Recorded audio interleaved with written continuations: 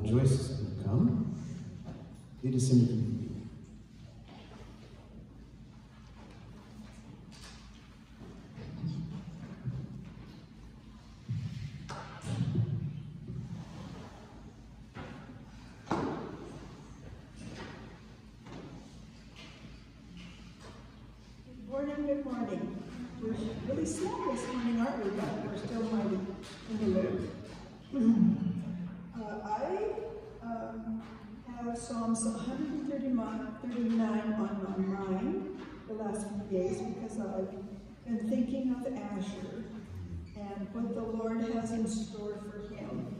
Yeah, and this is one of my favorite songs. Uh, and I think of when I was first saved, and uh, and then I found found this verse later, and it's like, oh my gosh, the Lord knew all along that I was going to come to a personal relationship with Him. So I'm going to read from uh, Psalms 139, starting at verse 13. The Lord says, You, for you formed my inward parts. You covered me in my mother's womb. I will praise you, for I am fearfully and wonderfully made. Marvelous are your works. My frame was not hidden from you when I was made in secret and skillfully wrought in the lowest parts of the earth. Your eyes saw my substance being yet unformed, and in your book they were all written, the days fashioned for me, when as yet there were none of them. How precious also are your thoughts to me, O God. How great is the sum of them. If I should count them, they would be more in number than the sand. When I awake, I am still with you. And so I, just want to offer a prayer for, for this little boy that's going to be um, raised among us, and we'll have the joy of seeing him grow as we've had the joy of seeing Naomi grow. Uh, there's just something so special about babies. It just it just brings tears to my eyes. And then we have all these um, older children and how precious they are for the Lord. And um, we just pray um, for the Lord to direct their lives all the days of their life. He will do that. So I'm going to pray, Father, we thank you, Lord, for the blessing of little Asher. And we just pray your blessing upon um, Abby as she recovers, Lord. And we just ask you to uh, guide and direct, give them uh, courage, uh, wisdom, and strength, Lord, as they move forward with their family. I pray for Arlen also, Lord, that you just work in his heart and show him, Lord, what, it, what the work it is you want him to do here. We thank you for that in Jesus' name. And now uh, I'll do communion. Uh, we are going to, um, let's see, I'm going to um, Corinthians, where the Lord's Supper was instituted. And uh, in 1 Corinthians 11, 23, for I received from the Lord that which I also delivered to you, that the Lord Jesus, on the same night in which he was betrayed, took bread, and when he had given thanks, he broke it and said, Take, eat, this is my body, which is broken for you. Do this in remembrance of me. In the same manner, he also took the cup, saying, This cup is the new covenant in my blood. This do as often as you drink it in remembrance of me. For as often as you eat this bread and drink this cup, you proclaim the Lord's death until he comes. And that's what we're all looking forward to when he comes, and um, also, you know, when he takes us home. You know, if, if he doesn't come before then, we will be with him. So, thank you, Lord, for the these symbols of your body and your blood, we just praise you, Lord, that you took this upon yourself for us, Lord. We ask you to just bless it, and we praise you in Jesus' name. Amen.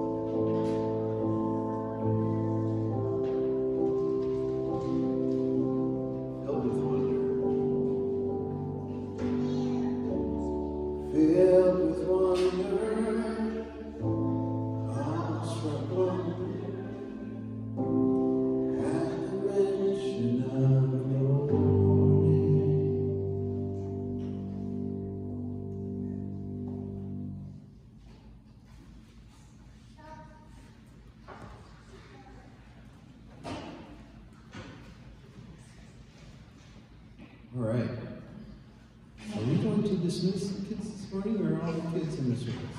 Okay. For those of you who are interested in, uh, making a meal or anything to bless the Marines with, uh, we're going to be doing them on Tuesdays and Fridays, and then we'll just give them the leftovers on Sundays, so that they can have that, to keep them fed. Uh, the can't do's are pineapple, coconut, and pork for right now. Pork, because, uh, Abby's mom will be here on Tuesday, and she does not do pork. So, that, that's the only request, uh, Abby has requested tacos and casseroles. So, that's the main thing, and she said they're pretty easy. You have a list of who's like it for when? Nobody has signed up yet. Well, when, when is the shoot coming? Million dollars a day for Okay. What the end is. Okay. I will, I will send out just a message that just has dates available and fill in and, okay? All Prayer. Well, then let's pray out these kids. These kids are awesome. They are absolutely, I don't have to tell anybody in this room this, but they are future of the kingdom. And uh, not only not only are they the future of the kingdom, but they have the they have the the uh, presence and the influence right now as they are to influence people for the kingdom. I've seen it happen with my very own eyes. So, Father, thank you. Thank you for these kids. Thank you for the arrows that um, that you blessed us with in our quivers, Lord, in, in your quiver, that undoubtedly will uh, further your kingdom from now until forever. Lord, I thank you for them. I ask that you would please bless them. I ask that you would please bless the teaching this morning. Let it resonate with them. Let it sink into their little hearts. And, uh, just be with them this morning. Thank you. And we pray in Jesus' mighty name. Amen.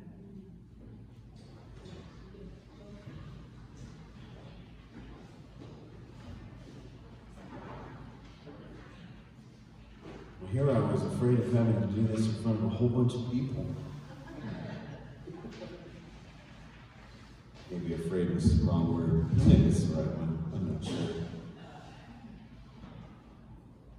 Uh, so, good morning again.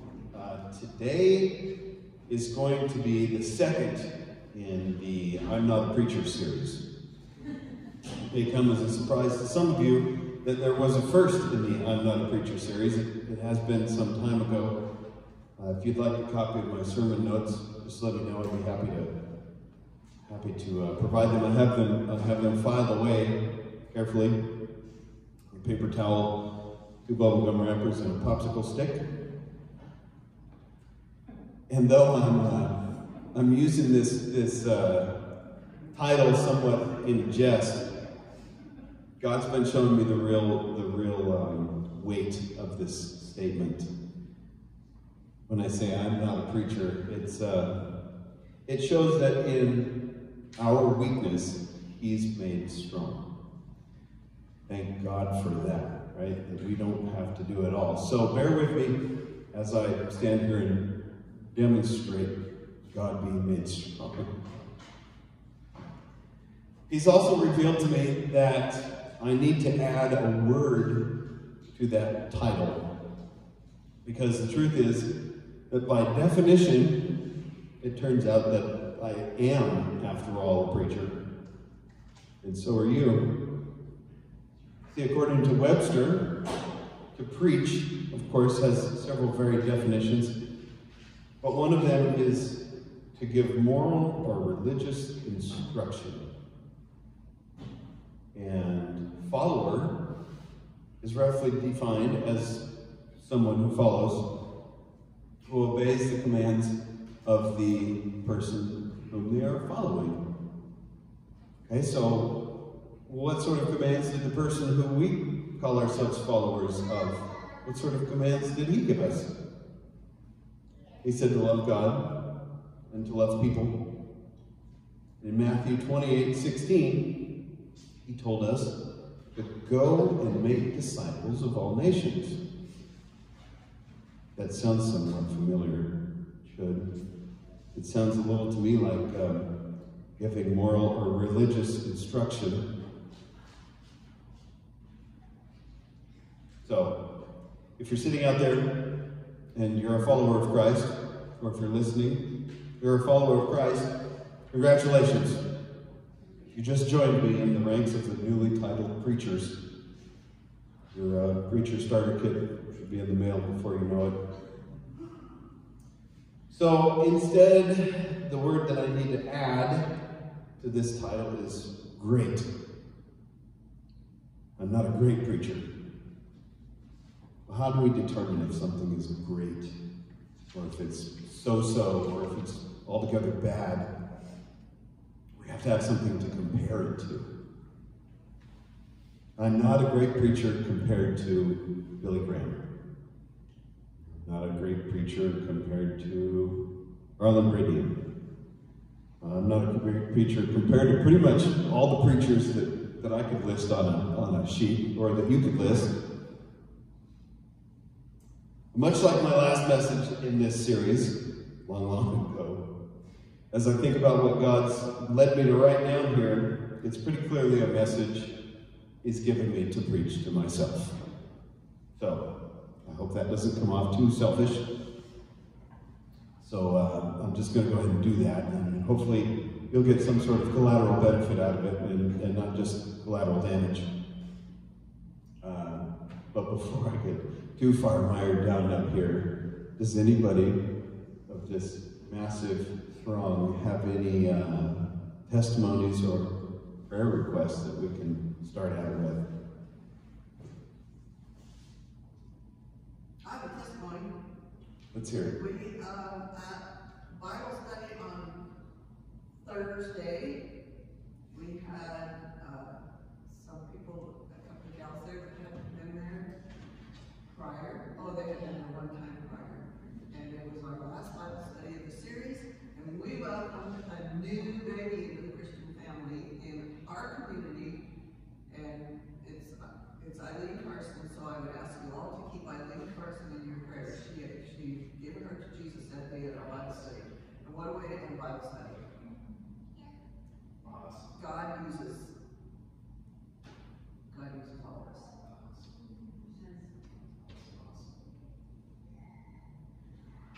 I got something to add. Go for it. So, we sort of praise, prayer requests, I guess, together. You've met my friend Brian, who came out here, I think, one Sunday around Christmas time. And, uh, he's seventy years old, so just a young kid, right? Uh, I'm trying to encourage those are close to- close to that age. We're young. But anyway, I've watched his progression in his life since I got to know him, where he's slowly been it seems drawing closer to possibly having faith in Christ. Uh, he's been attending church regularly for about a year now. Prior to that, I never had. We've had many conversations. But this week, we had one of the most sort of intense, and by intense, I just mean gospel-driven conversations. We've had quite a few in recent months, but this one had to deal with him saying that he's felt something missing in his life. for a long time. He's not happy with who he, he with himself, you know.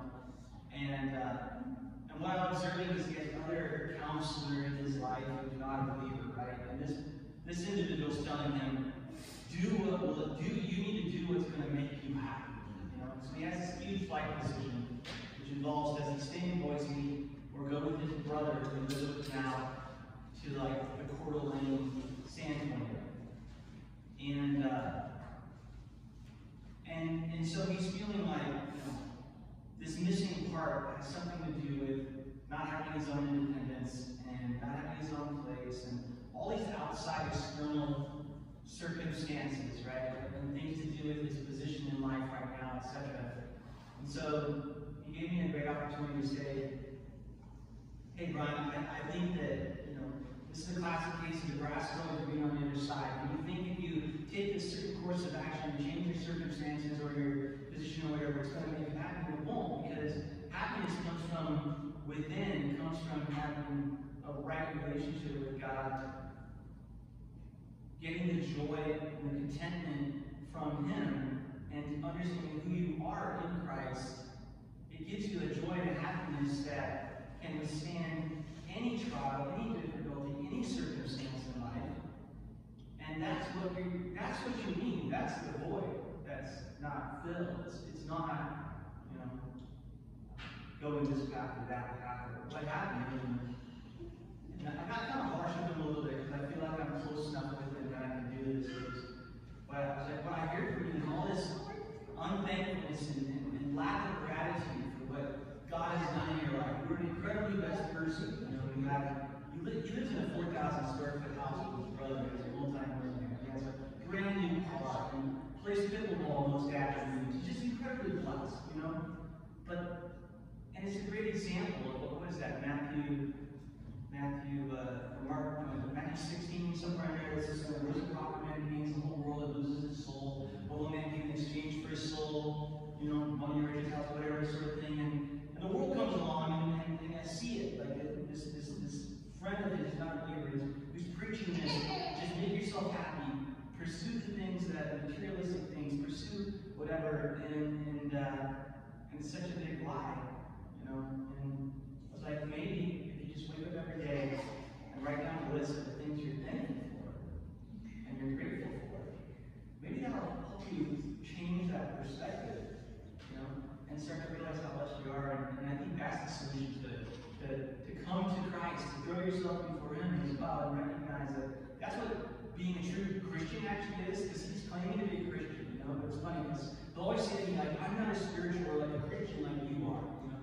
And I kind of want to say, you know, you're either a Christian or you're not a Christian There's not degrees of kind of being closer. But anyway, like throw yourself before Christ in desperation and say, I'm not worried about anything. I don't deserve anything. That's what getting saved is. It's coming absolute you surrender. And he comes in and he fills that void. So, so anyway, praise and all of that. The opportunity came, the ability to share all that with him, and then just a prayer that, that as I continue to have these kinds of conversations with him and love him, that maybe God will work to, to bring him to the place where he actually accurately and truly understands the, the gospel and repents and surrenders to Christ and gets saved and experiences that, that joy that we all who are in Christ have. In spite of whatever circumstances or trouble may. Sorry, I went on little too long, but I'm, uh, I'm buying time for you. No, Appreciate that, that perfect. Brian Reeves is his name. Absolutely. We'll keep definitely keep Brian in prayer. I like Brian. Brian's a cool guy. I would keep him in prayer even if I didn't like him, but, uh, but it helps. Anybody have any other prayer requests? All right then.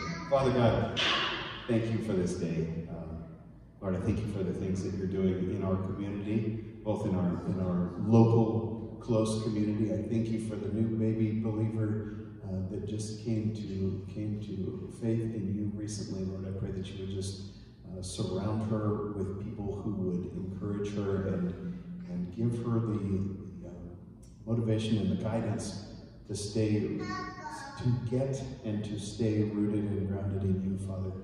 Pray that you would just protect her against the inevitable um, attacks of the enemy, or just keep her covered. Uh, keep her covered with your wings, Father. Lord, we also lift up Brian, and I thank you. I thank you for uh, for uh, Brian himself, Lord. I thank you that that in his in his going through life that you are showing him that he's becoming more aware of the God-shaped hole inside of his life. And I pray that you would just reveal that to him, that it's not the stuff and that it's not the accomplishments and it's not the um, all, the other surrounding stuff that it, that is going to fill that hole. Um, Father, just direct him, guide him uh, straight to you, so that he can fill that God-shaped hole and have have true peace, joy that comes only from you. I thank you for uh, Justin's friendship with him, and I thank you for the the uh, ministry that he has there. And uh, I pray that you would please just bless that, Father.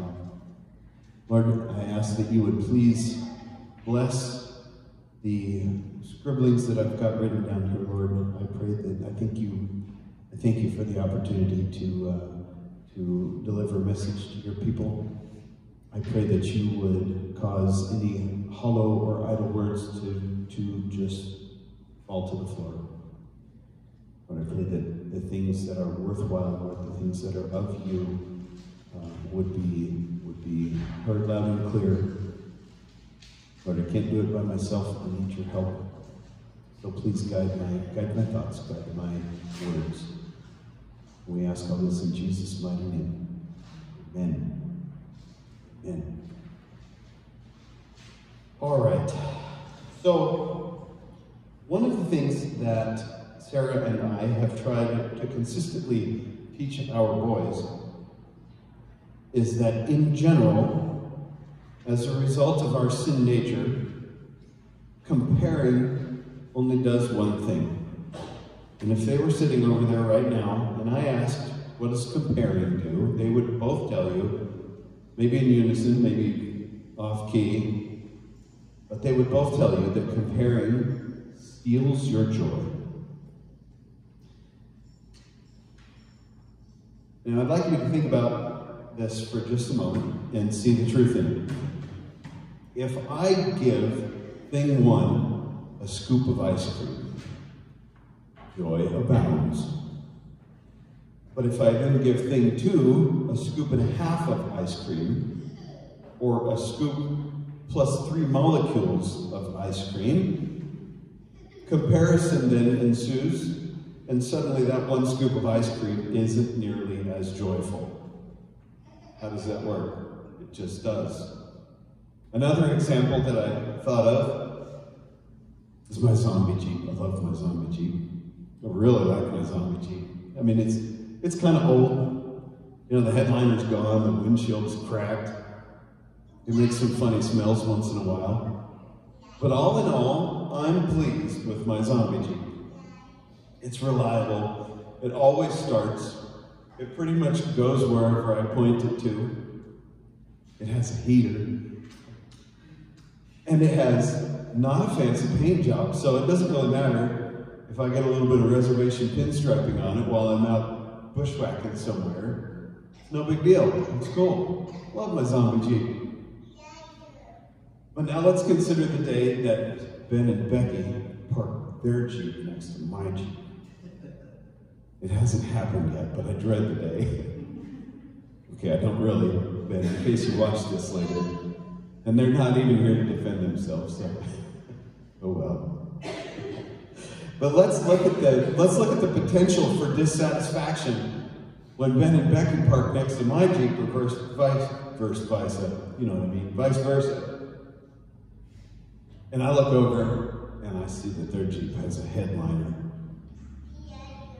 And the window's not cracked. And I like the color a little bit better than mine. And it's a few years newer than mine.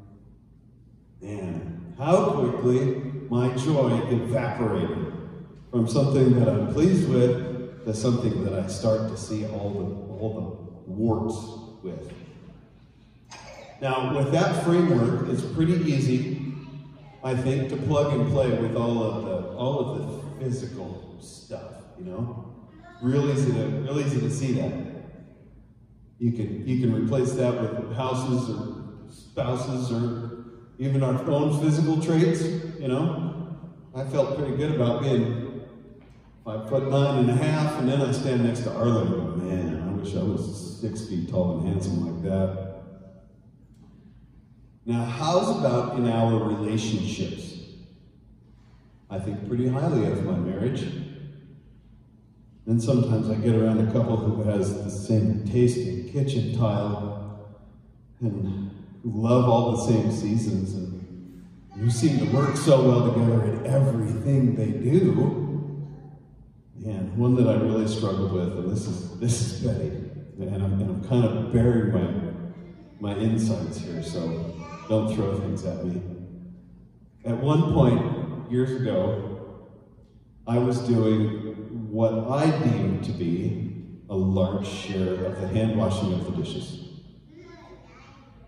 in our house. It wasn't, it wasn't that the workload was unevenly divided.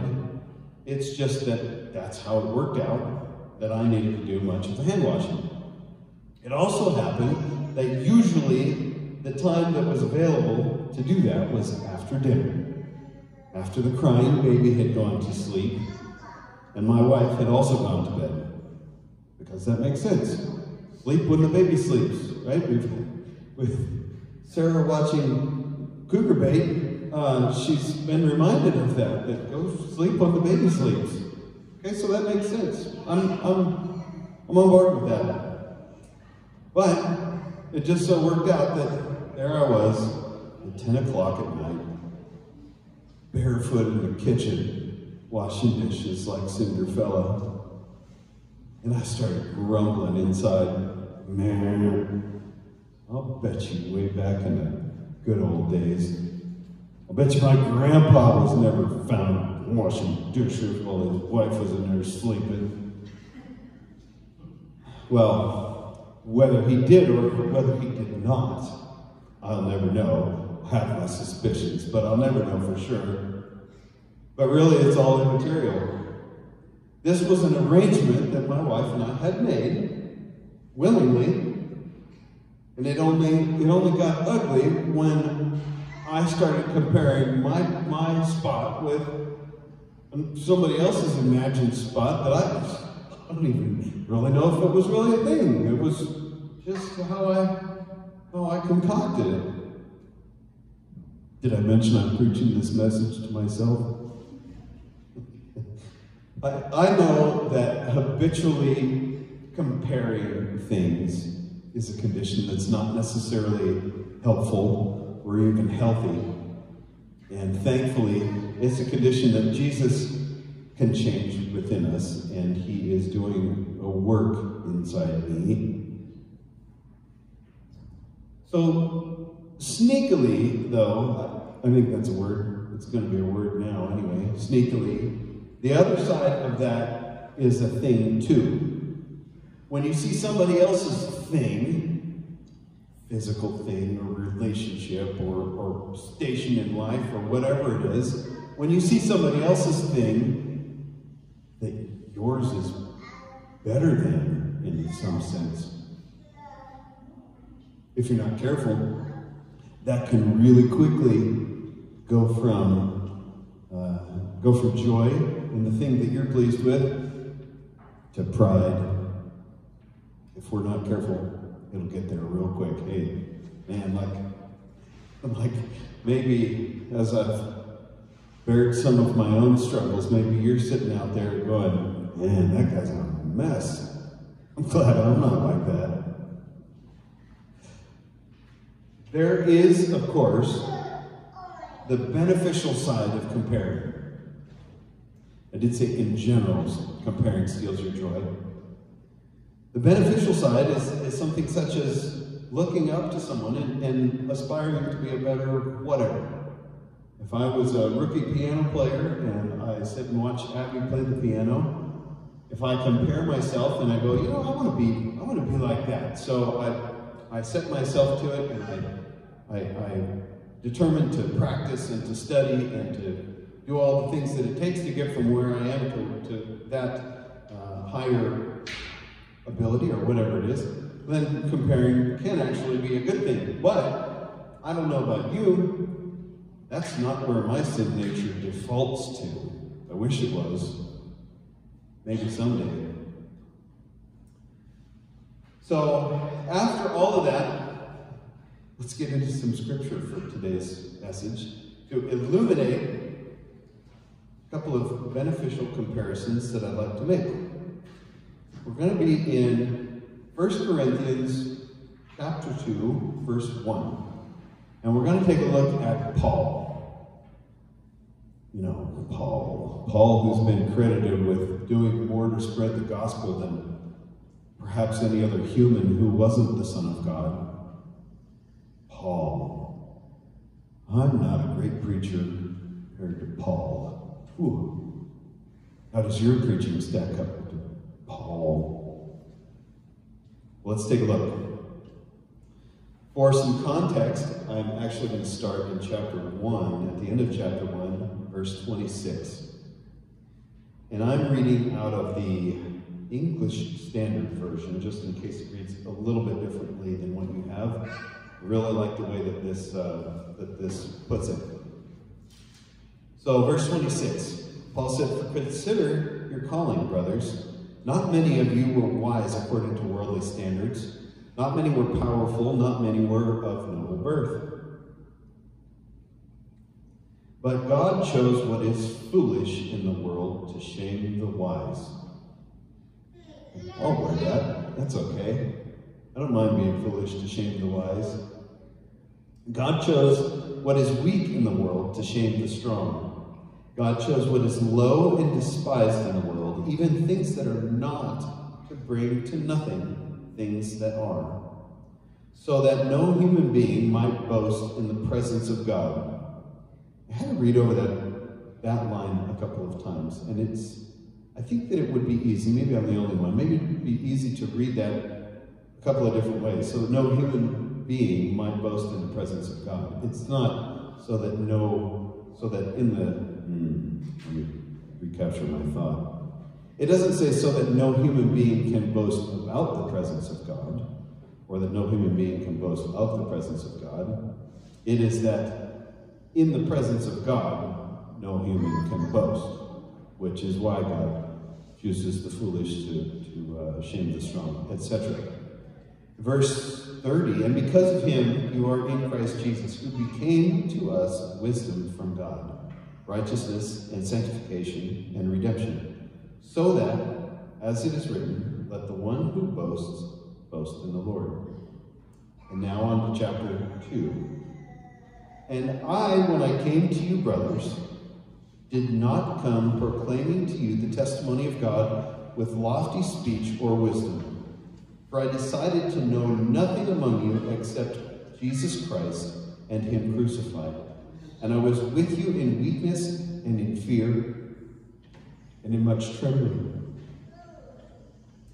And my speech and my message were not in plausible words of wisdom, but in demonstration of the Spirit and of power so that your faith might not rest in the wisdom of men, but in the power of God.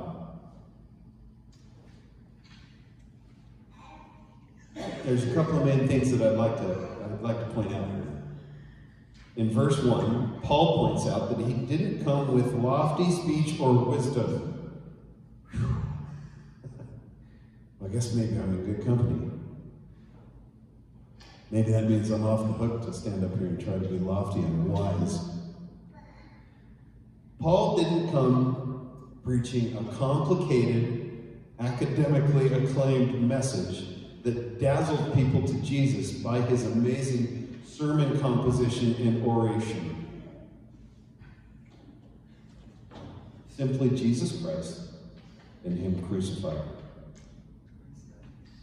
In verse 2, in fact, um, if we look at uh, verse 3, rather, we can see a description that would pretty handily fit most of us standing up here to preach. I'll read it again. And I was with you in weakness and in fear and much trembling. And my speech and my message were not in plausible words of wisdom, but in demonstration of the Spirit and of power. Hmm.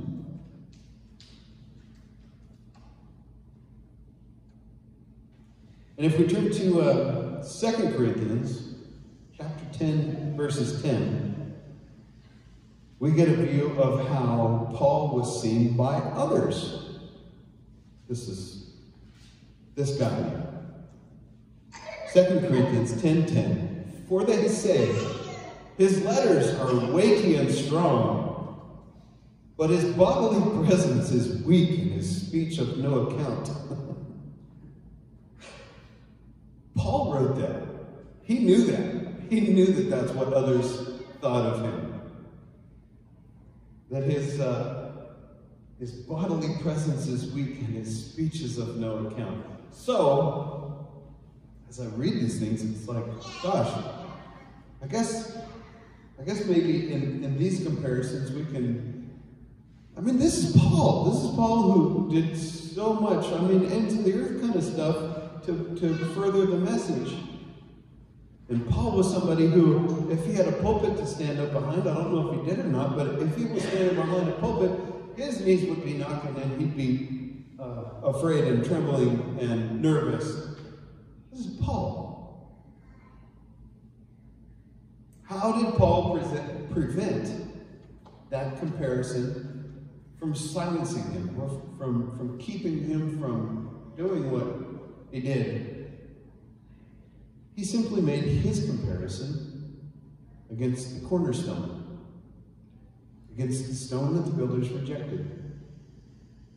I decided to know nothing among you except Jesus Christ and Him crucified. Now, don't get me wrong. For those of you who are more learned than myself, that includes most everybody in this room, I'm not downplaying um, at all being uh, studied and being wise about everything that's in here. What I am simply saying is that I lost my spot in my notes. Uh, in 2 Timothy 2.15, you know, it says that we're to study to show, show yourself approved. In 1 Peter 3.15, we're always be ready to give a defense to everyone who asks you a reason for the hope that is in you. So, so I, I don't mean to oversimplify it. I don't know about you, but I'll ask rhetorically, have you ever avoided a conversation or avoided a topic in a conversation because you thought yourself ill prepared? That you didn't have all the answers to somebody? I've been there. I have numerous conversations that ring in my head that I avoided talking about Jesus because I knew the person that I was talking to was a real intellect and was going to grill me, and I didn't have all the answers. But what I mean is that not being a theological scholar does not disqualify one from preaching Jesus Christ and Him crucified. Compare your ministry only to what Jesus commanded you to do. To love God, to love people, to go and make disciples of all nations, preaching Jesus Christ and Him crucified. And went a little bit quicker than I had timed it when I practiced this message. But that's that's the message. That's the um, that's the point that I wanted to make because I often have that have that tendency to go, gosh, I am not I'm not that trained or I'm not that smart to, to be able to, to preach Jesus Christ was crucified for you and he was crucified for me so that we could have eternal life through him. Amen.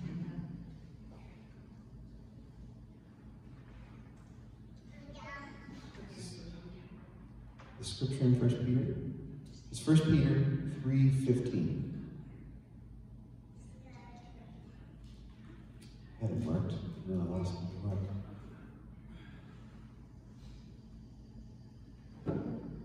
So, because of an absence of words right now, I'm going to do the best thing I know how to do, and we're going to pray again.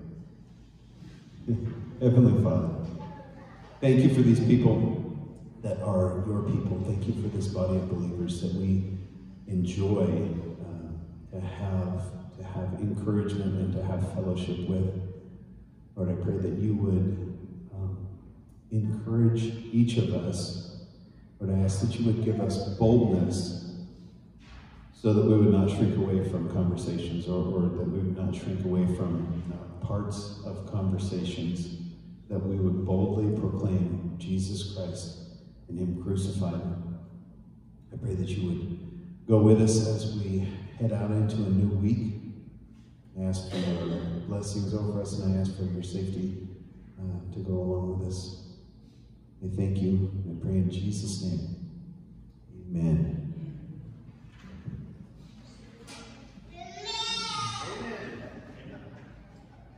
Your children have probably watched for at least a few more minutes, so now's the time to go take a nap or run